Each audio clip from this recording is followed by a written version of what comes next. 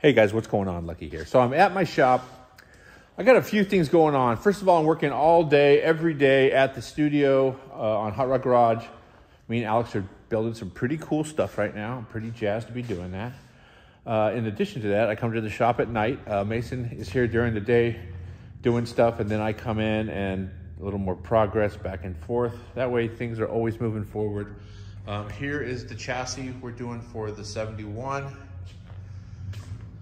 Um, got the LT motor just set in there. We're waiting on some parts from Holley.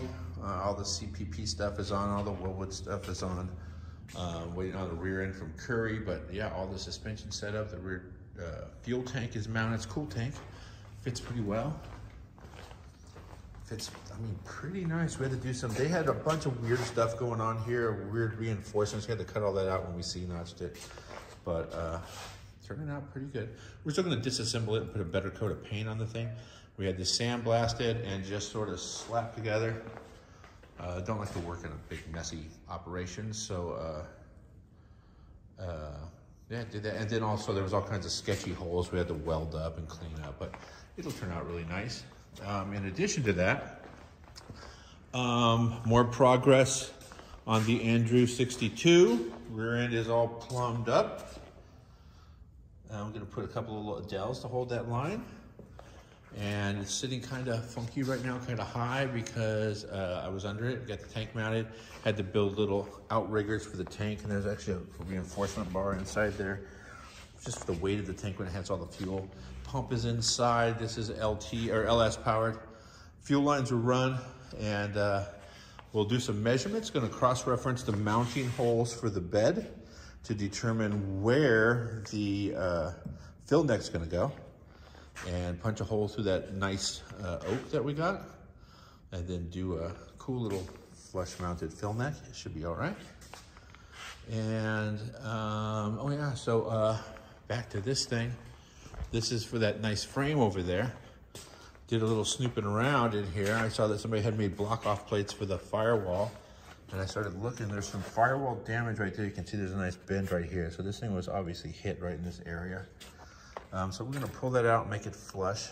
And then I was looking at this block off plate trying to figure out why does that look so, uh, so smooth? And is that silicone peeled out of the edge? And lo and behold, it did end up being silicone. And uh, yeah, they just, it's like galvanized metal. You get like roofing metal you get from a Home Depot and they just siliconed it on.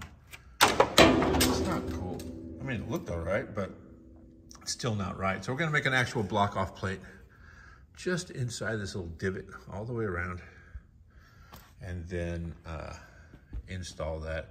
Um, I got, I've made a couple of them um, and I, I weld quarter 20 bolts on it, punched through the stock holes, welded on from the back, put a nice gasket on it and bolted on. That way you're not really hacking up the car. But this is sort of a custom build, so I'm thinking that we'll probably plug weld it permanently, seal it up, and uh, same with that right there. Um, I'm gonna route the heater hose through that area right there. So it'll be in from out of this and into the wheel well area, above the wheel well, or into the fender area, and then come out underneath and go to the motor. Um, this is gonna be LT powered, so gonna try to keep the engine compartment looking kind of cool. We're actually gonna get rid of the brake booster and go with Hydro Boost. Possibly go with Hydro Boost. He bought all the stuff, but I don't actually know how it's gonna work on the LT motor. So either way, coming right along. Thought I'd do a little update video. I do these sometimes for my customers so they can see the progress on their vehicles. And sometimes just for the YouTube channel and people who subscribe to me on YouTube just to see what's going on in my shop. I've also got some stuff cooking over in the other shop, and uh, I'll be going over there later on. Maybe I'll make another video. But um, yeah, coming right along. Not hating it one iota. Anyway, thanks for watching, you guys. See you later.